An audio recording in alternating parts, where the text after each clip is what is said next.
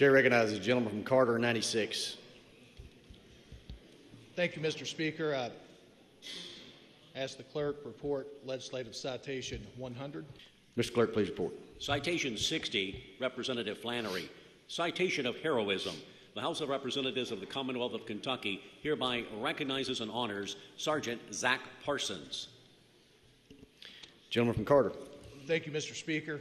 Uh, today I present legislative citation 100, a citation of heroism honoring Sergeant Zach Parsons, who is from Carter County in my district. Nearly three years ago, Sergeant Parsons did what Marines do. Gentleman from Bourbon, Estill, and Johnson, he acted heroically.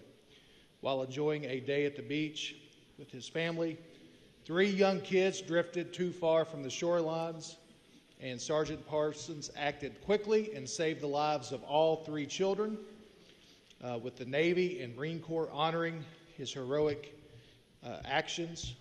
I believe it's appropriate that we do so as well. Uh, Sergeant Parsons was here earlier today with several member of his several members of his family, but um, has had to leave town early. But I do think it's appropriate that we we honor him for his actions, and I move adoption.